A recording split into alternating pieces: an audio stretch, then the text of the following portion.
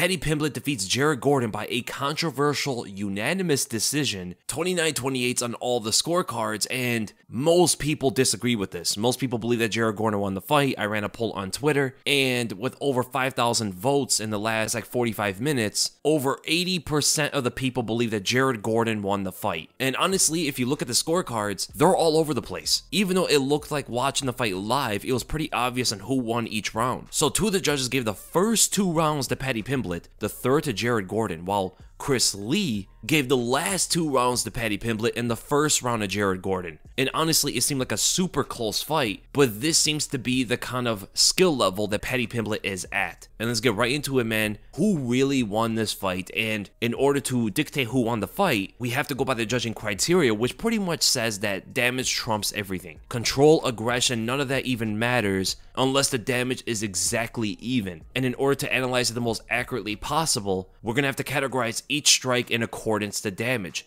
And we're going to be looking at the first two rounds as they seem to be most disagreed on from the judges to even the fans. It seems like most people believe even the judges themselves believe that Jared Gordon won that third round. There wasn't a lot of damage, there wasn't a lot of strikes that really landed there. Let's get right into that first round, man. First strike of the round, Paddy lands a very good push kick as Jared Gordon is throwing a leg kick. The push kick gets Gordon stumbling, but at the same time, he is able to land his leg kick. And then Jared Gordon lands a big left hook on Paddy, Definitely the biggest shot of the round so far, but Gordon just naturally doesn't have that much power, and Paddy was able to take it pretty well. Gordon then lands a very good leg kick afterward, returned by a good one from Paddy as well. They both wind up left hooks on each other and land at the same time, pretty much landing with the same kind of power. A decent check left hook from Paddy as he's moving away from Gordon's aggression. Gordon's punch actually misses here. It doesn't land on the target, it lands toward the chest area. A slight jab from Paddy lands right at the end of it, and then Gordon responds with a huge leg kick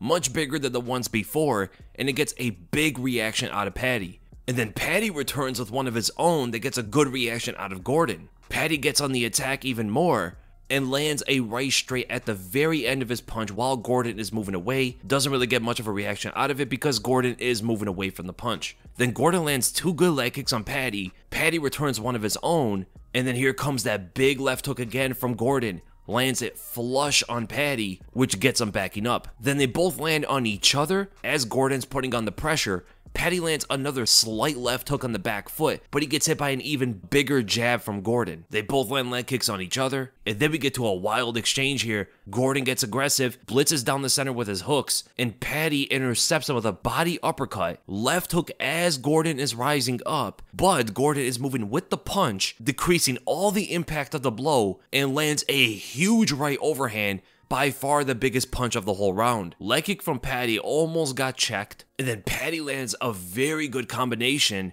throws a whipping right hook around the guard, lands pretty good, gets a reaction out of Gordon. He furthers on the combo with a jab. Off of the jab, Gordon gets into a defensive shell, and Paddy lands an uppercut and ends it with a left hook that gets a good reaction out of Gordon. Two leg kicks from Paddy, and the second one was much bigger. And then we get to another exchange where Paddy throws in a left hook, and Gordon's moving with the punch, but gets slapped a little bit behind the head with it. And Gordon's throwing hooks while his head is down to the ground, and he lands only with his forearms, left hook, and the right hook behind the head a decent check left hook from Paddy as he's moving on the back foot, but he lands it pretty awkwardly with his hand. Doesn't really land fully with the knuckles there, and because of the form of the punch, it doesn't affect Gordon that much. Both land leg kicks on each other again. Gordon follows up with more kicks and lands one to the body. Paddy does catch it afterward, doesn't really have much of an effect on him, but the attack afterward from Gordon was definitely a big one. Wings in that left hook yet again as Paddy's chin is up in the air and catches him clean. Gordon then checks a body kick from Paddy and Paddy continues this assault, lands a shifting right straight at the end of the punch, and Gordon attacks with that left hook yet again. Paddy lands his check left hook, Gordon lands his left hook, both with a similar kind of impact, and Gordon attacks with it yet again, lands with the left hook, and Paddy misses his. They both exchange leg kicks on each other, Paddy's was definitely bigger. Gordon blitzes down yet again with that two punch combination, goes to the body with the right hand, it lands okay, doesn't really have much of an effect, and follows up with a jab up top instead of that left hook.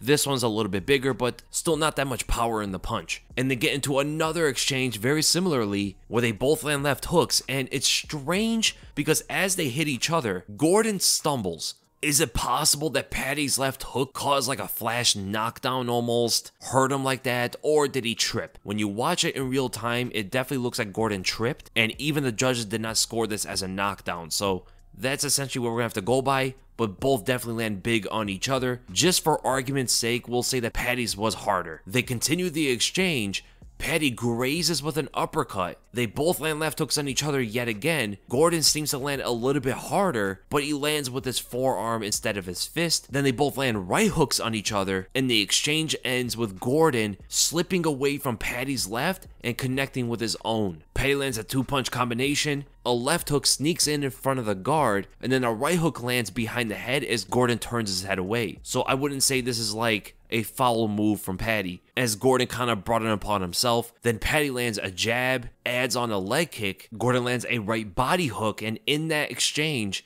Paddy tries to take the fight to the ground, but ultimately, Gordon's whizzer reverses the position, and Gordon gets on top, starting to land ground and pound. Gordon lands eight strikes on top, and Paddy lands one elbow that ends the first round. So by tallying up all the strikes and the damage, they landed exactly the same in total strikes and light strikes, but there's a big difference with heavy and medium. The majority of the big shots of the round were definitely on Jared Gordon's side. He also had the biggest single strike of the whole round, whereas Paddy had some damaging shots, but not necessarily crazy damaging, you know? So ultimately, you would have to give this round as a 10-9 to Jared Gordon. He also did get the takedown and top position as well to go alongside with his superior striking. So, so far, it's 2018 for Jared Gordon. Now let's look at the second round. So we start the second round and Gordon checks Paddy's kick while afterward landing a leg kick of his own and adds on more kicks on top of that with a front kick to the body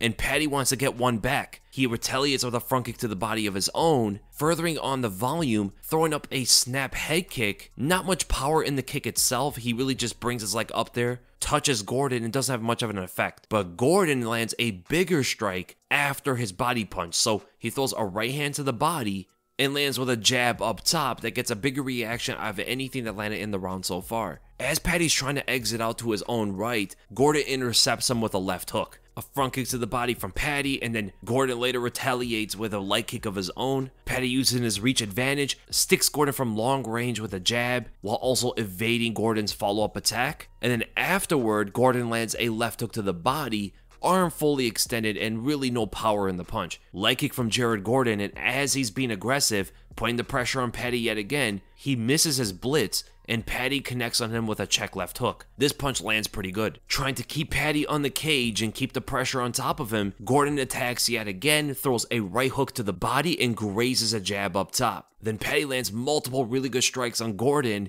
starting it off with a push kick to the body that comes down low afterward. Gordon tries to catch it and takes two left hooks up top, both of them not really much impact. Paddy then grazes a left straight as Gordon is shelling up and keeping an opening down the center. While still shelling up, Paddy lands a right hook behind the head, rips a right hand to the body, then Gordon gets on the attack, landing a right hand to the body for himself, and then connecting up top with his forearm as he's throwing a left hook. Because of this pressure, they get into the clinch, and Gordon lands a very good knee to the body, and eventually the fight goes to the ground because Paddy is attempting a choke, a very unorthodox choke that we really have never seen work in the cage, and it's really hard to tell if Gordon was really in any trouble, but Paddy was attempting a choke. Gordon got out of it pretty easily, but we do have to still count that as a takedown for Jared Gordon. As they stand up into the clinch, they land 10 strikes on each other each until Gordon disengages and lands a massive right hand on Paddy, forcing Paddy to look for an exit. Gordon lands a leg kick from the outside, and Paddy returns with a left hook that gets inside the guard, and then a whipping right hand that also finds target. This was Paddy's biggest punch. Gordon then lands another right hook to the body and left hook up top, that very same combination that he's been throwing the whole fight. Both punches land.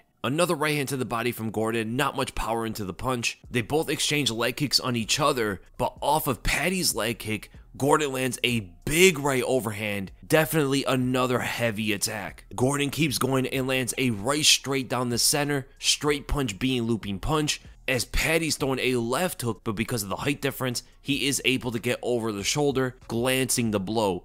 Gordon definitely landed the bigger punch here, following it up with a left hook to the body. And up against the fence in the clinch, Paddy lands a total of 12 while Gordon lands 5. After the disengagement and Paddy reverses the pressure, he gets pretty reckless and Gordon bombs him with a left hook. Paddy takes the punch pretty well and returns a right hook of his own, lands it, but Gordon also moves his head with the punch, decreasing the impact of the blow. Paddy throws up another snap kick, partially lands with the foot, and as he gets reckless again with his chin up, Gordon bobs and weaves for a left hook yet again. Jab from Gordon, and then they get into another exchange where Gordon lands a leg kick and Paddy glances with his left as he's throwing wild hooks at him. Paddy lands a switch kick to the body but pulls on the kick greatly so decreases the impact as well as Gordon parrying the kick. And then the round ends with Paddy landing a slight left hook. So by tallying up all the strikes and the damage, Paddy Pimblett landed two more total strikes, five more light, and Jared Gordon landed one more medium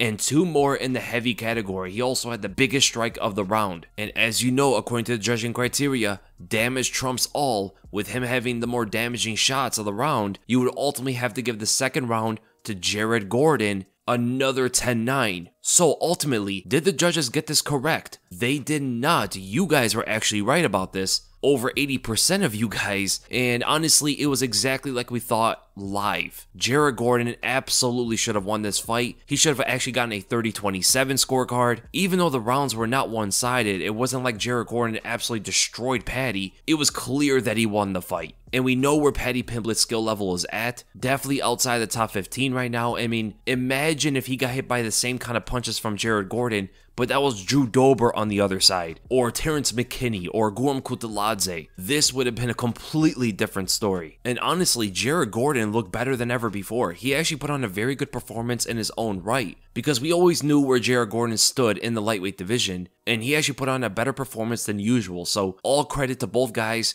They came out there to compete. Paddy came out there and fought. He's not a judge. And I hope you guys enjoyed the breakdown. And if you did, make sure to give this a thumbs up. If you enjoyed my content, make sure to subscribe. And I'll see you guys in the next video.